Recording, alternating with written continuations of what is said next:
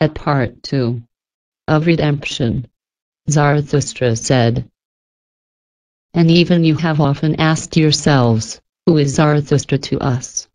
What shall we call him? And, like me, you answer your own questions with questions. Is he a promiser? Or a fulfiller? A conqueror? Or an inheritor? A harvest? Or a plowshare? A physician? Or a convalescent? Is he a poet? Or a genuine man? A liberator? Or a subduer? A good man? Or an evil man? Nietzsche replied to himself, I walk among men, as among fragments of the future, of that future which I scan. And it is all my art and aim, to compose into one and bring together what is fragment and riddle and dreadful chance. Zarathustra said, A seer, a willer, a creator, a future itself, and a bridge to the future. And alas, also like a cripple upon this bridge. Zarathustra is all this. The stillest hour.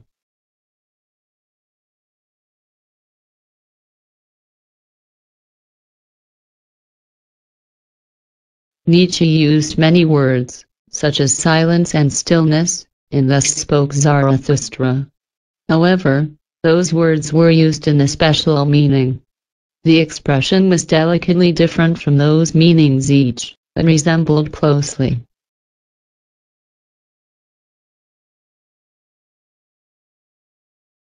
Nietzsche wrote an Ecce Homo about his situation when he finished writing. Thus spoke Zarathustra.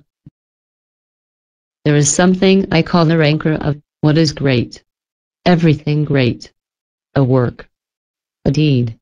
Is no sooner accomplished than it turns against the man who did it. By doing it, he has become weak. He no longer endures his deed.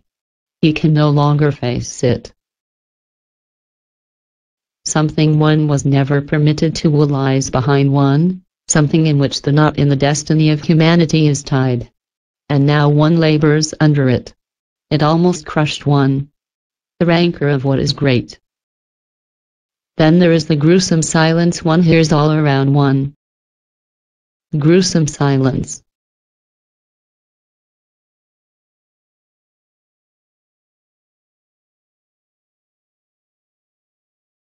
At the stillest hour.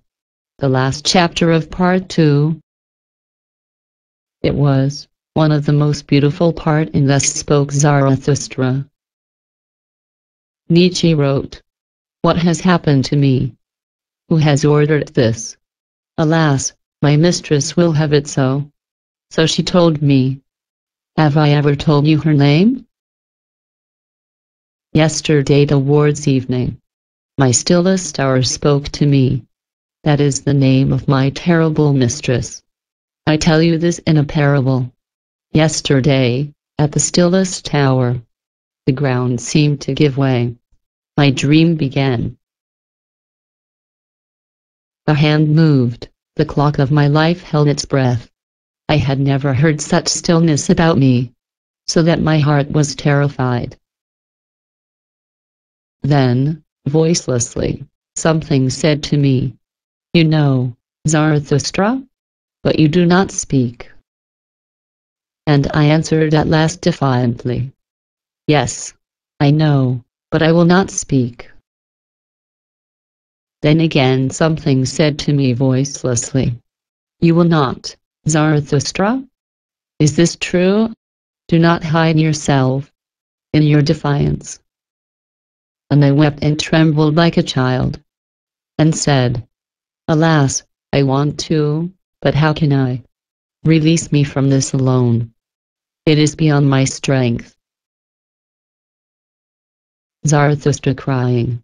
It is a rare scene. In addition, after all, voicelessly may be a kind of silence, too. Zarathustra answered to something. And I answered. My words have as yet moved no mountains. And what I have spoken has not reached men. Indeed, I went to men, but I have not attained them. Then something said to me voicelessly, How do you know that? The dew falls upon the grass, when the night is at its most silent. And I answered, They mocked me when I found and walked my own way, and in truth my feet trembled then. Then again something said to me voicelessly, Of what consequence is their mockery? You are one, who hasn't learned how to obey. Now you shall command. And I answered, I lack the lion's voice for command. Then again something said to me, as in a whisper, It is the stillest words which bring the storm. Thoughts, that come on dove's feet guide the world. Here, Nietzsche used some words to be similar to stillness again. When the night is at its most silent, Something said to me as in a whisper. It is the stillest words which bring the storm. Thoughts that come on dove's feet guide the world.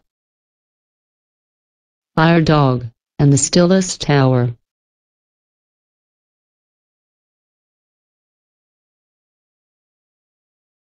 This the stillest hour has the first appearance in of great events of same part 2. Please be careful about his difficult metaphor. The capability to read and comprehend the double meaning is required. At part 2 of Great Events, Nietzsche wrote, The earth, he said, has a skin, and this skin has diseases. One of these diseases, for example, is called man, and another of these diseases is called the fire dog. It was ironical message that a human being was a disease of the skin of the earth. Nietzsche wrote, Now I know all about the fire dog, and also about all the revolutionary and subversive devils, which not only old women fear. Nietzsche wrote, The world revolves, not around the inventors of new noises, but around the inventors of new values. It revolves inaudibly.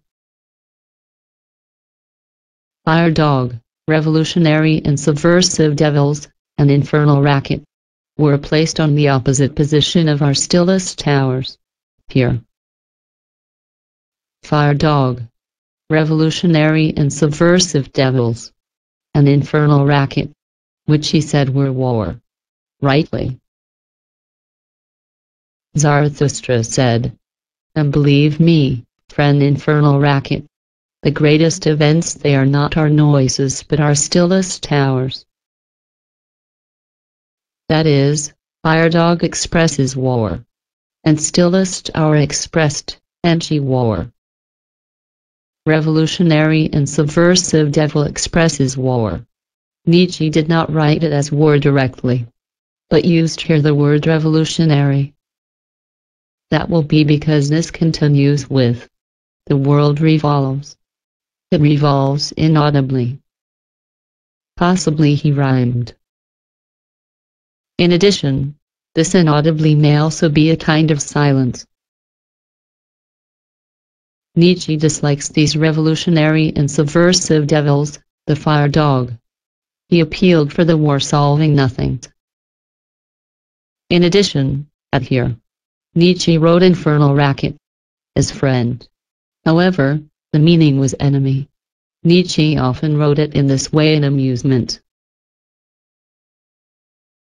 Nietzsche was always severe. Then he was sometimes considered to be a war lover. However, facts completely differed. He disliked war. Forest and stillness.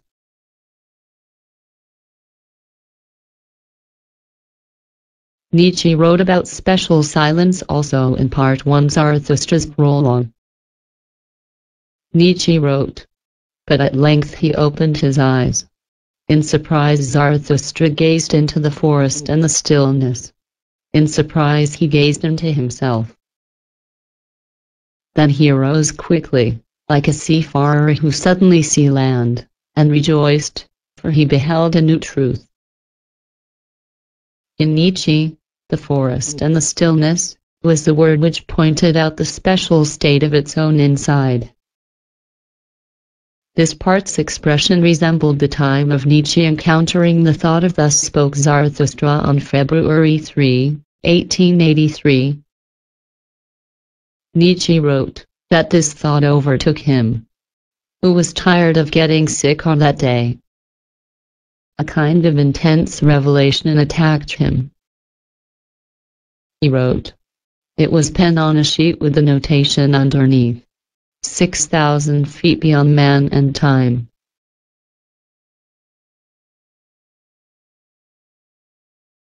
Nietzsche wrote it in Ecce Homo, 1908, in this way. That day I was walking through the woods along the lake of Silvaplana. At a powerful pyramidal rock not far from Surlei, I stopped.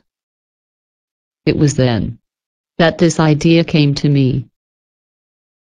My health could have been better. The winter was cold and excessively rainy.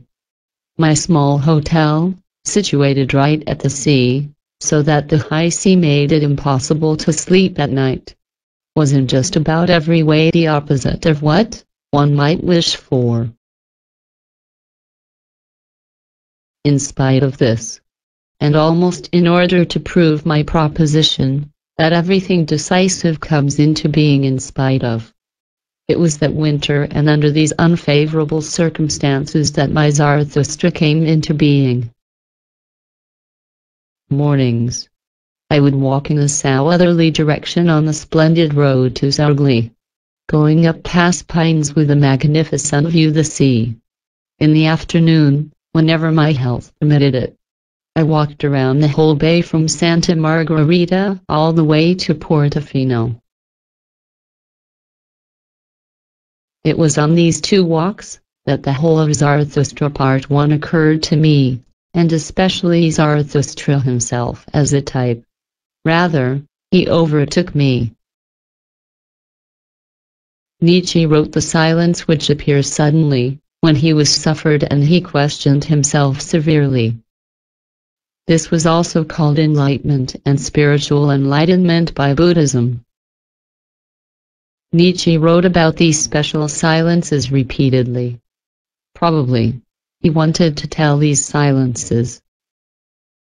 However, many people were not able to understand it, because this was a special experience. Therefore, he, Nietzsche wrote to the side of the theme a book for everyone and no one.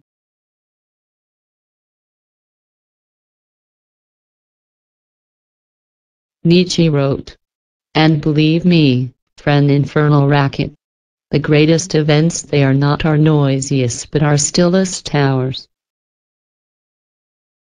Then again something said to me as in a whisper, it is the stillest words which bring the storm. Thoughts that come on dove's feet guide the world. This was Nietzsche's voice.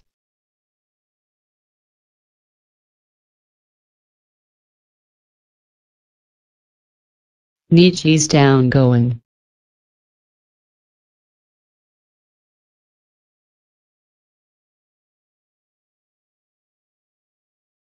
Now, I will return to the chapter of Stillest Hour. It was last part of part two. Nietzsche wrote, then again something said to me voicelessly. Of what consequence are you, Zarathustra? Speak your teaching and break. Speak your teaching and break. What meaning was this? It was linearly connected with the words, shown in the Zarathustra's prologue. These will be what Nietzsche wanted to write.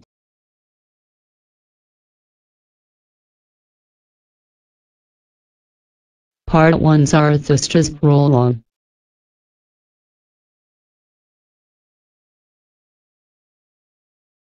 Nietzsche wrote, I love those who do not know how to live except their lives be a downgoing, for they are those who are going across.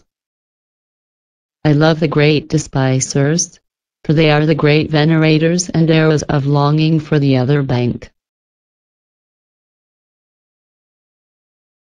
I love him, who lives for knowledge and who wants knowledge, that one day the Superman may live. And thus he wills his own downfall. I love him, who loves his virtue, for virtue is will to downfall, and an arrow of longing.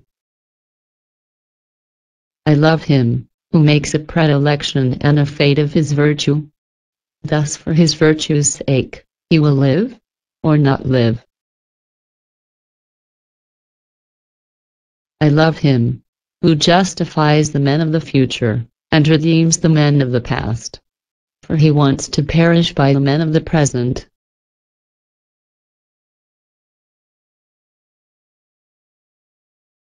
I love all those who are like heavy drops falling singly from the dark cloud that hangs over mankind. They prophesy the coming of the lightning, and as prophets they perish. Behold, I am the prophet of the lightning and a heavy drop from the cloud, but this lightning is called Superman.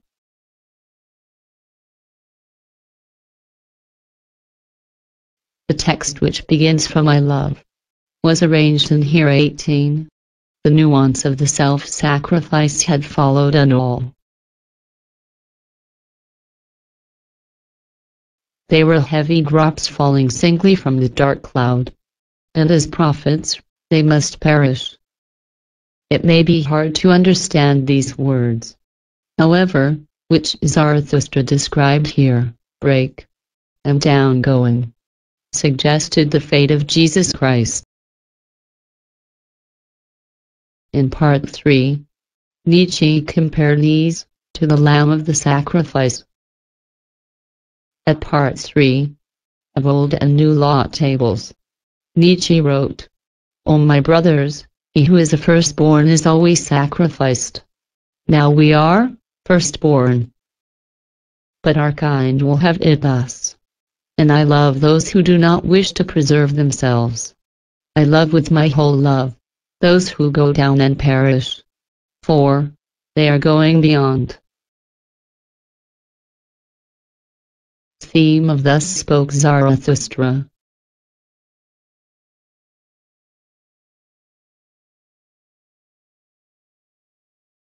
I think that the true themes of Thus Spoke Zarathustra were creation of new value, and a challenge repeated forever. Furthermore, I think that they were the self-sacrifice for it, and the prophecy for a new era. They are obstinately described from the beginning of Thus Spoke Zarathustra. Nietzsche wrote about the self-sacrifice in Thus Spoke Zarathustra repeatedly. And those portions are too beautiful and dangerous.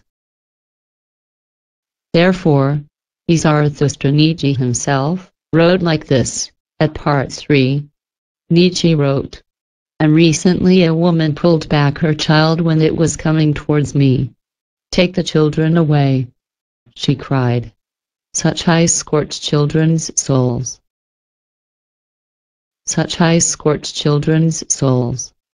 His iron words were very dangerous to young children. I can also be convinced to it. Nietzsche compared to the sun setting. That people go down and perish. Nietzsche wrote at the Zarathustra's prologue. To that end, I must descend into the depths, as you do at evening, when you go behind the sea, and bring light to the underworld too, superabundant star. Like you, I must go down as men, to whom I want to descend, call it.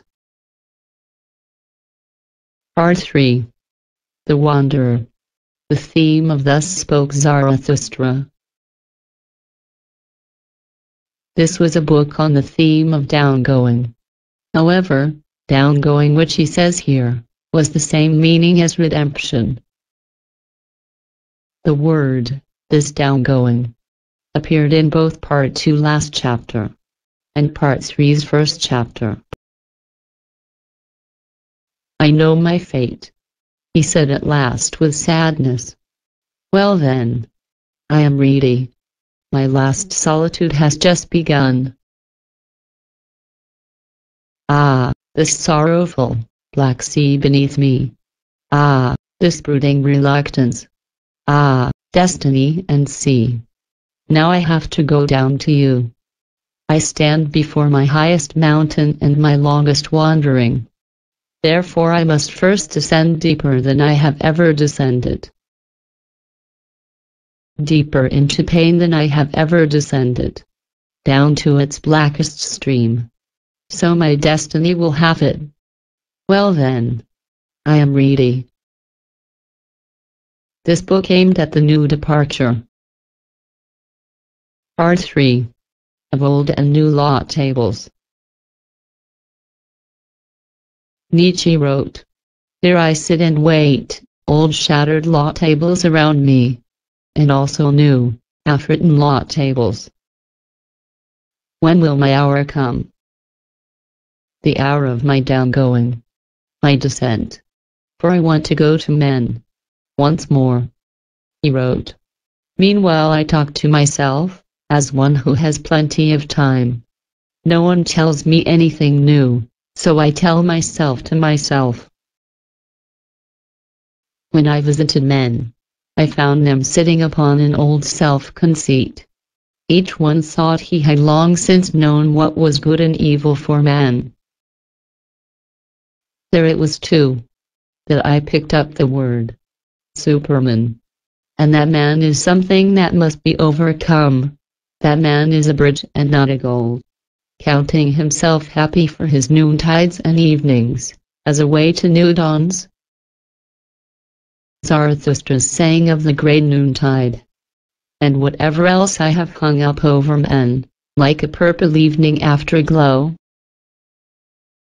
Furthermore, he said, now I await my redemption, that I may go to them for the last time. For I want to go to man once more, I want to go under among them.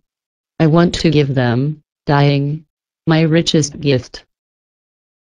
Like the sun, Zarathustra also wants to go down.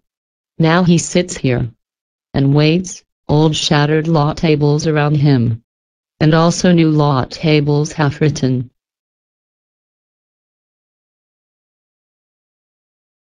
At part 3, The Convalescent. Here, Zarathustra told about eternal recurrences. And he talked further like this. I spoke my teaching. I broke upon my teaching. Thus my eternal fate will have it. As prophet do I perish. Now the hour has come. When he who is going down shall bless himself. Thus ends Zarathustra's downgoing. Nietzsche described like this as strangely similar with the man who failed in tightrope walking and died, at part 1 Zarathustra's prologue. Nietzsche made this man's death a kind of symbol. And this resembled fate of Jesus Christ a little. Part 3 The Homecoming There was a strange chapter in Part 3. The title was The Homecoming. Here, Solitude of Zarathustra talked to Zarathustra himself. O solitude! Solitude, my home! I have lived too long wildly, in wild strange lands, to come home to you, without tears. O solitude! Solitude, my home! How blissfully and tenderly does your voice speak to me. We do not question one another, we do not complain to one another, we go openly together through open doors. And at here, some highlights of Thus Spoke Zarathustra are talked about and are generalized. Solitude talked to him. Do you remember, O Zarathustra?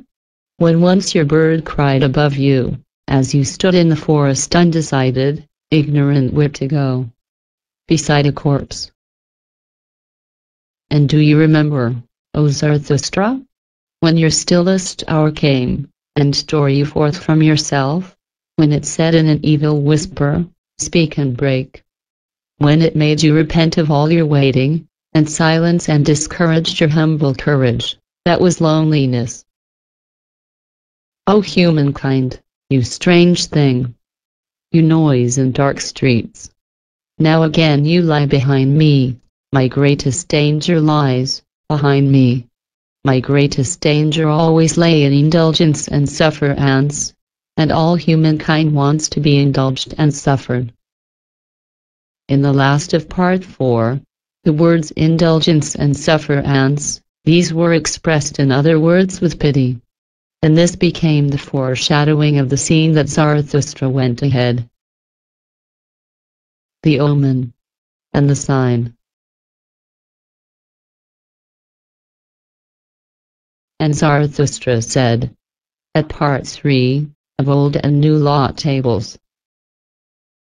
For that, I now wait for first the sign, that it is my hour must come to me, namely, the laughing lion, with a flock of doves. And the sign appeared. It was the last chapter of part 4, named the sign. Here the laughing lion, with a flock of dove appeared before him.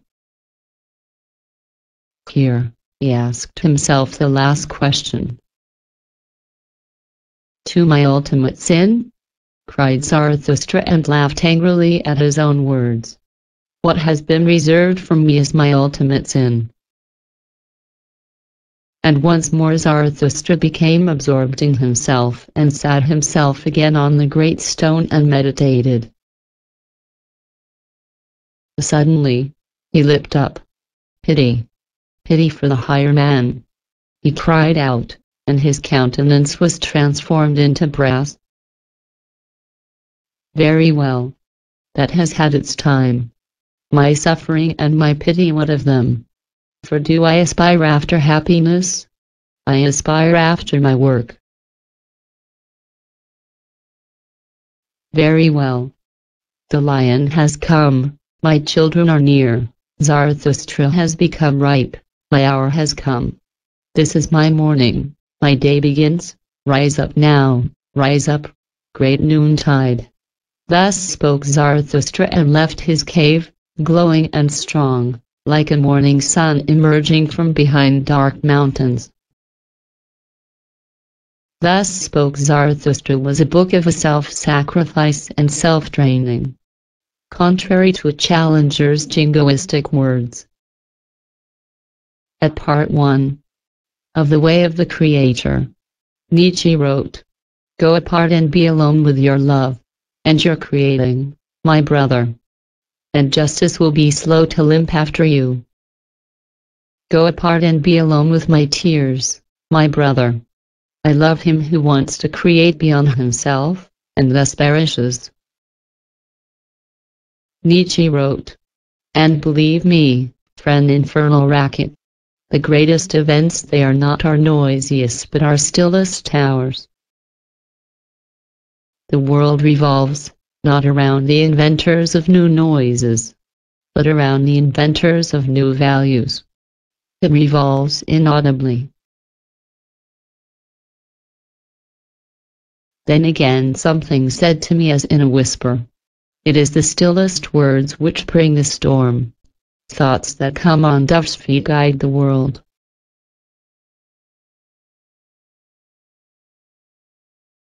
Nietzsche's eternal recurrence theory. Generally, it has been supposed that eternal recurrence was the main theme of Thus Spoke Zarathustra. However, I think that it is not right. Eternal recurrence was a theme of only some chapters of Part 3,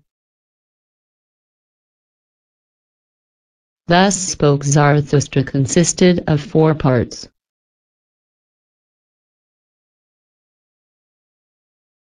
Part 1 and Part 2 were published in 1883. Part 3 was published in 1884. Part 4 was printed by self-publication of only 40 copies in 1885. There were 81 chapters in Thus Spoke Zarathustra. However, it was only four that was related to eternal recurrence theory directly. Although two chapters near the end of part 2 and the chapter of the beginning of part 3 were related, these were still stages of an omen. One chapter in part 3 explained the eternal recurrence theory clearly. Stillness and New Thought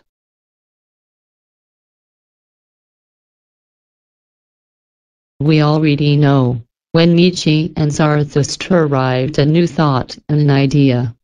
Always was silence or stillness there. He, Nietzsche always wrote so. However, the state when this new theory came, differed from before. Here, Zarathustra was always troubled by dreams and carried out strange action which was not in former. At part 2, the prophet, Zarathustra struggled, and was in pain for three days. Furthermore, he was troubled with a dream, which he could not understand. At part 2, of redemption, he was severely astonished at the conclusion, what he resulted. In second chapter of part 3, of the vision and the riddle, he told a fearful anecdote. Part 3 In the convalescent, he discovered new thought and had jumped up like the person mad from the bed. Furthermore, after he accepted this thought, for seven days, he struggled violently and was in pain. In these chapters, they were only the scenes that he continued being in pain.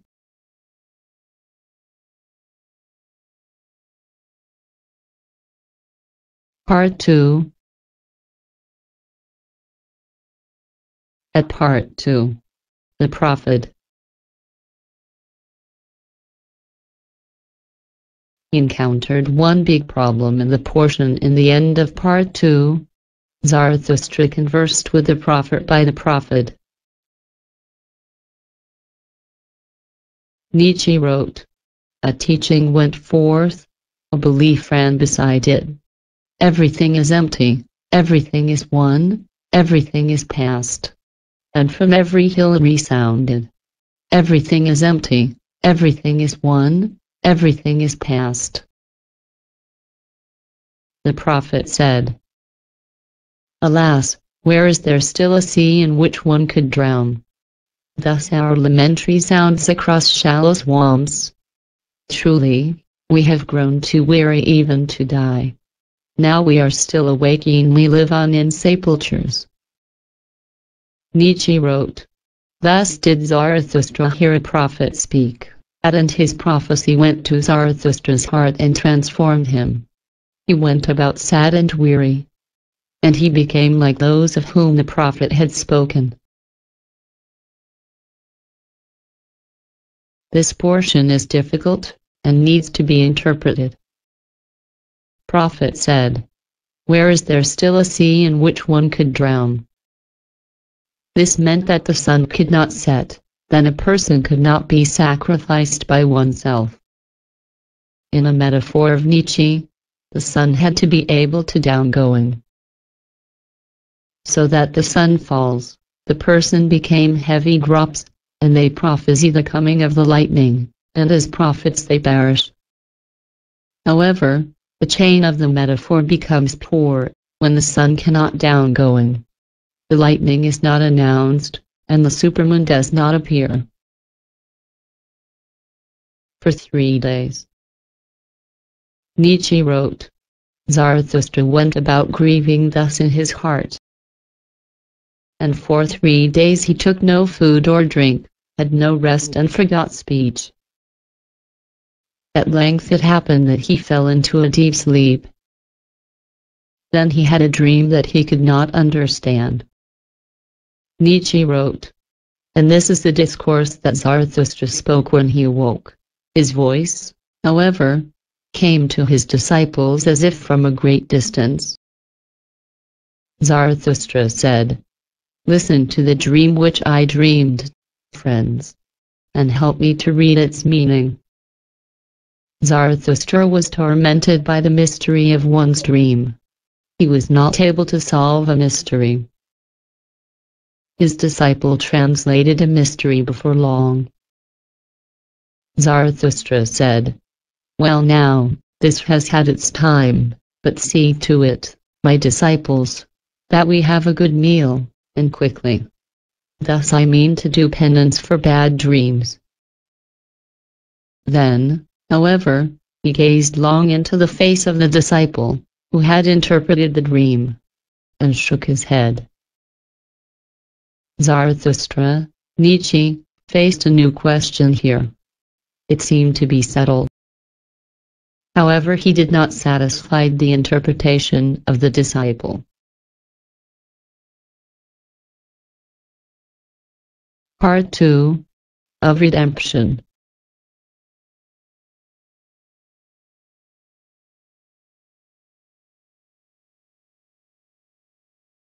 The following chapter was part 2 of Redemption.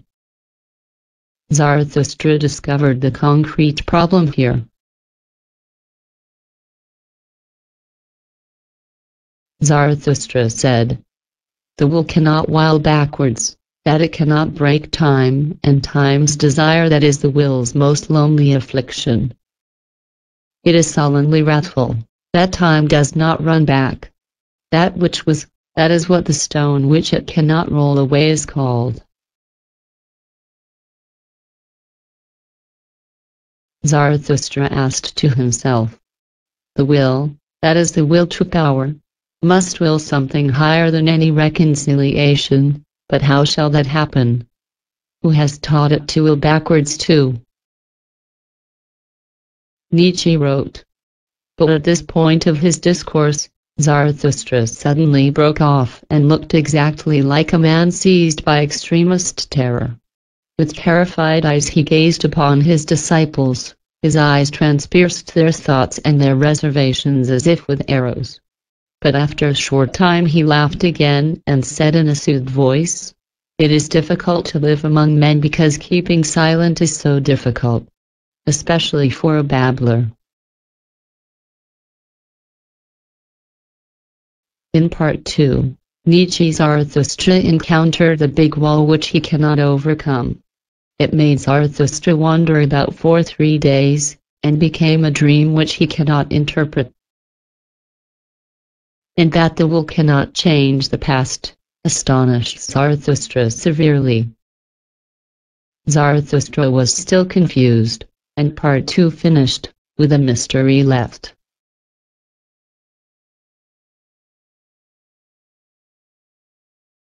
Part 3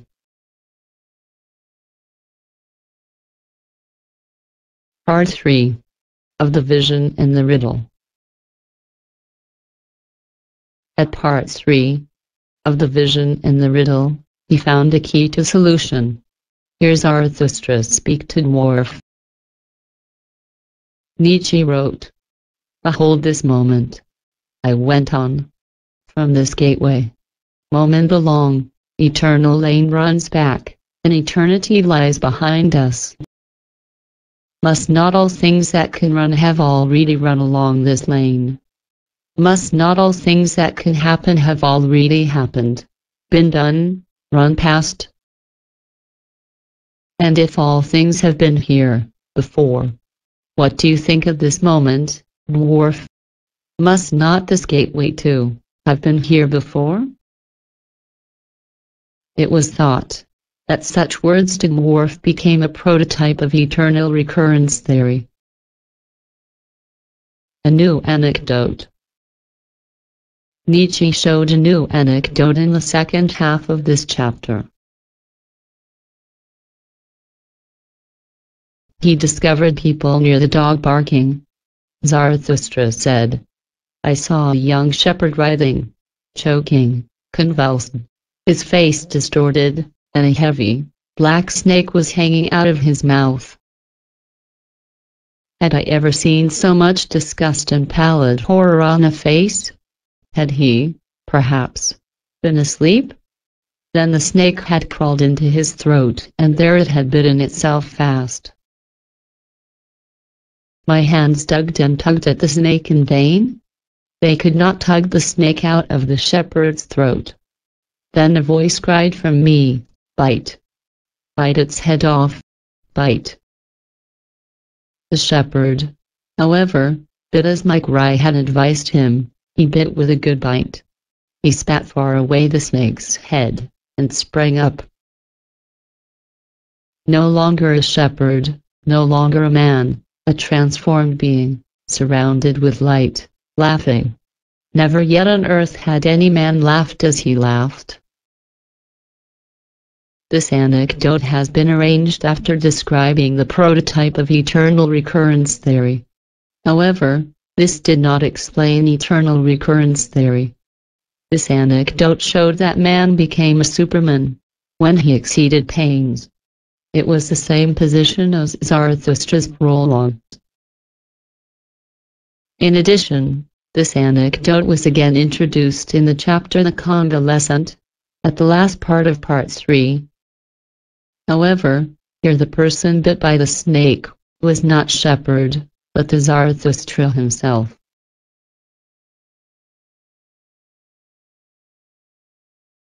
Part 3 The Convalescent The Convalescent It suited in the end of Part 3. Here Zarathustra became the moment of pain again. Nietzsche wrote, One morning, not long after his return to the cave, Zarathustra sprang up from his bed like a madman, cried with a terrible voice, and behaved as if someone else were lying on the bed and would not rise from it. Surprising personification was performed here. One more person. What was sleeping on the bed? And what he tried to wake? Were his thought. This appearance of thought completely differed from former. Zarathustra said, Up, abysmal thought, up from my depths. I am your cockerel and dawn, sleepy worm.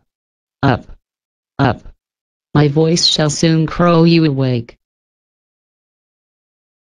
Someone else, who was sleeping on the bed was his abysmal thought and it expressed as Lindworm, a kind of dragon.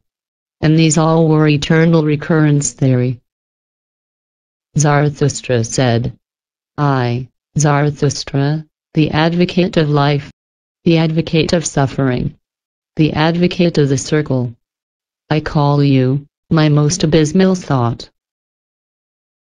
Ah! Come here. Give me your hand. Ha! Don't. Ha! Ha! Disgust, disgust, disgust. Woe is me. Hardly had Zarathustra spoken these words, however, when he fell down like a dead man and remained like a dead man for a long time. But when he again came to himself, he was pale and trembling and remained lying down and for a long time would neither eat nor drink. This condition lasted seven days.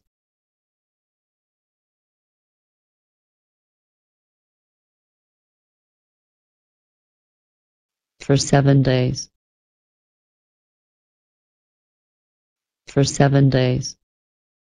He was reconstructed between these seven days. At last, after seven days, Zarathustra raised himself in his bed took a rosy apple in his hand, smelt it, and found its odor pleasant. Then his animals thought, the time had come, to speak with him.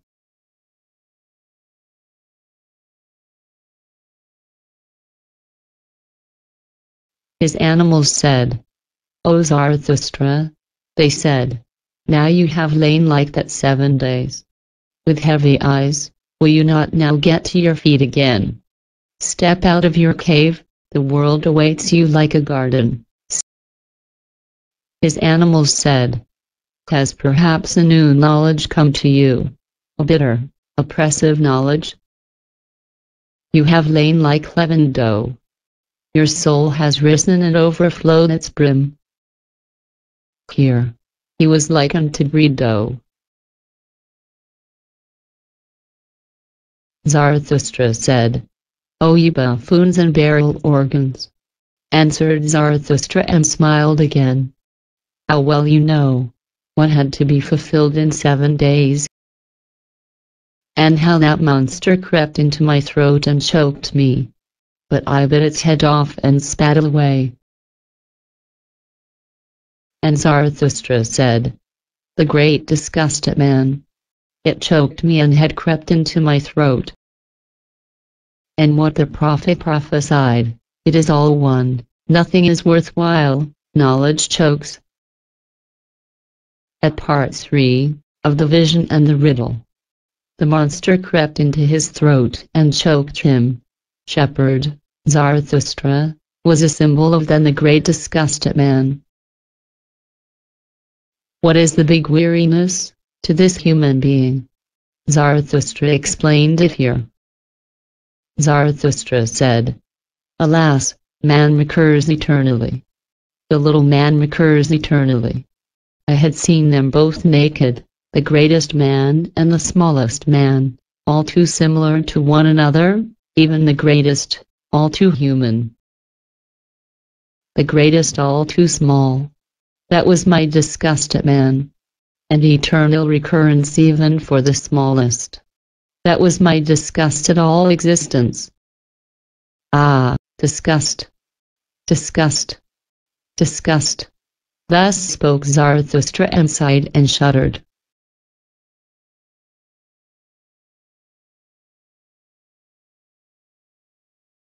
Speak no further. His animals answered once more. Rather first prepare yourself a lyre. Convalescent, a new lyre. For behold, O Zarathustra, new lyres are needed for your new songs. Sing and bubble over. O Zarathustra, heal your soul with new songs, so that you may bear your great destiny. That was never yet the destiny of any man. The new song, which they said here, was eternal recurrence theory. An animal said, for your animals well know, O Zarathustra, who you are, and must become. Behold, you are the teacher of the eternal recurrence. That is now your destiny. However, here animals explained new theory, instead of Zarathustra. His animals said, Behold, we know what you teach, that all things recur eternally, and we ourselves with them, and that we have already existed an infinite number of times, before and all things with us. I shall return, with this sun, with this earth, with this eagle, with this serpent, not to a new life, or a better life, or a similar life. I shall return eternally to this identical and self-same life in the greatest things and in the smallest, to teach once more the eternal recurrence of all things. To speak once more the teaching of the great noontide of earth and man. To tell man of the superman once more. I spoke my teaching. I broke upon my teaching. Thus my eternal fate will have it. As prophet, do I perish. Now the hour has come. When he who is going down shall bless himself. Thus ends Zarathustra's downgoing.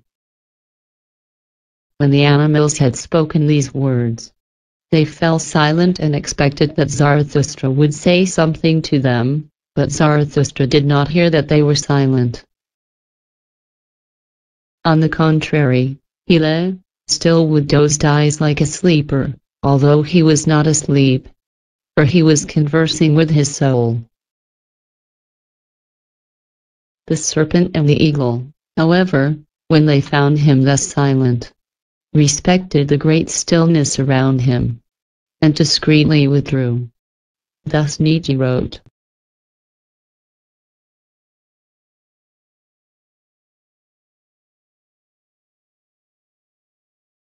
Eternal recurrence theory was not told by Zarathustra, Surprisingly, it was told by his animals. They described it completely. for the first time. At this time, Zarathustra showed neither support nor the contrary to this theory.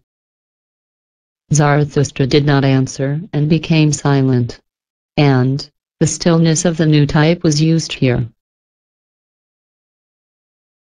Eternal recurrence theory was the one step that Nietzsche tried to step forward newly.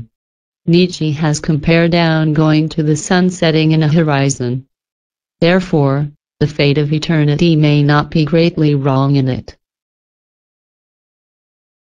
However, Nietzsche parted from this new thought little by little.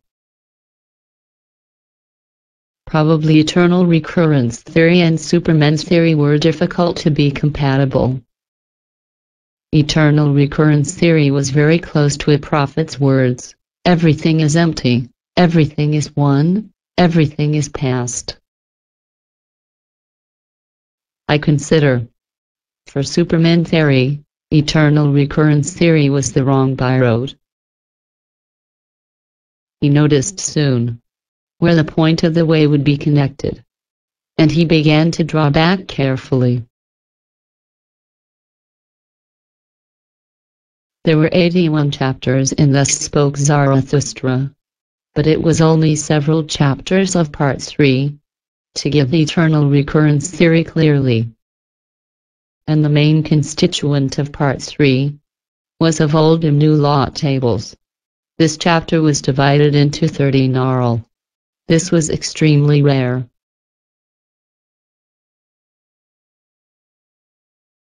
Of old and new law tables was arranged just before the convalescent. Let's see last part of this chapter.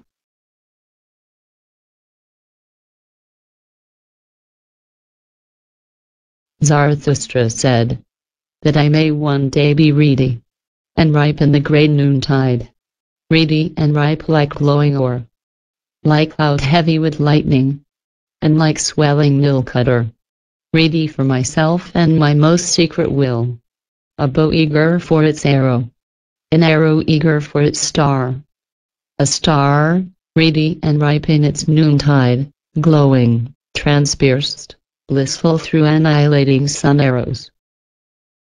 A sun itself and an inexorable sun will, ready for annihilation in victory. O will, my essential, my necessity, dispeller of need. Spare me for one great victory. Thus spoke Zarathustra. These were words of the challengers who did not mind self-sacrifice is our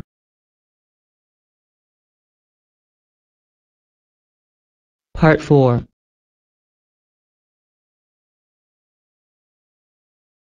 At Part 4, their eternal recurrence theory hardly came up other than some words. And the theme called downgoing and redemption which began in Part 1 did not change at all in Part 4 either downgoing and redemption were directly associated to his hour. He was waiting long for his hour. And at part 3, he announced that his hour comes someday.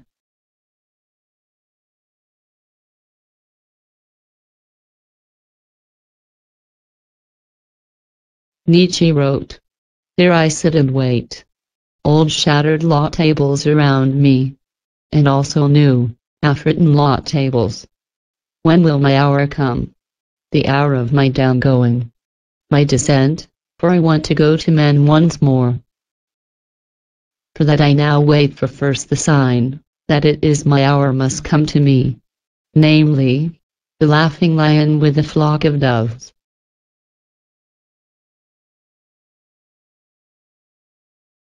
The sign was the last chapter of the part 4.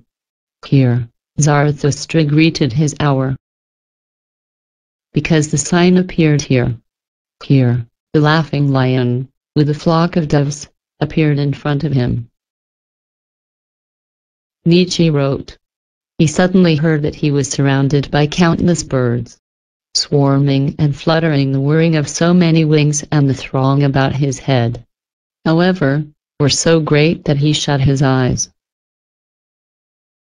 and truly, It was as if a cloud had fallen upon him, a cloud of arrows discharged over a new enemy. And behold, in this case it was a cloud of love, and over a new friend.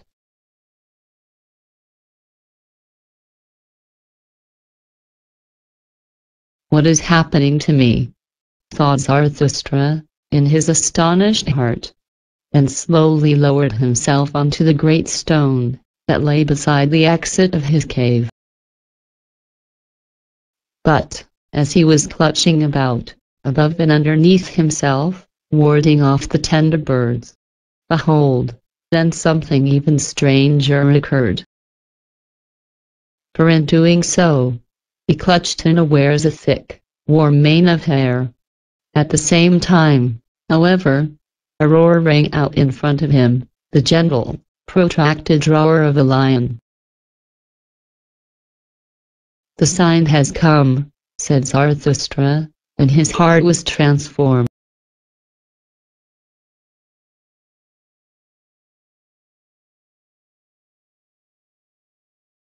Here, he remembered the words of Prophet, and asked himself the last question. O Zarathustra, he said to me, I have come to seduce you, to your ultimate sin. To my ultimate sin? cried Zarathustra and laughed angrily at his own words. What has been reserved for me as my ultimate sin? And once more Zarathustra became absorbed in himself and sat himself again on the great stone and meditated.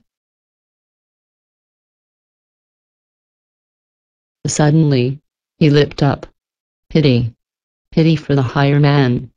He cried out and his countenance was transformed into brass.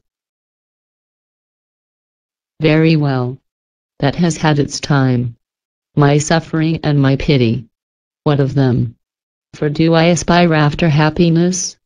I aspire after my work. Very well. The lion has come, my children are near.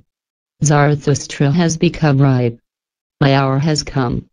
This is my morning. My day begins. Rise up now. Rise up, great noontide. Thus spoke Zarathustra and left his cave. Glowing and strong, like a morning sun, emerging from behind dark mountains. Very well. That has had its time. My suffering and my pity. What of them? For do I aspire after happiness? I aspire after my work. Very well. The lion has come, my children are near. Zarathustra has become ripe. My hour has come. This is my morning, my day begins. Rise up now. Rise up, great noontide. Thus spoke Zarathustra and left his cave.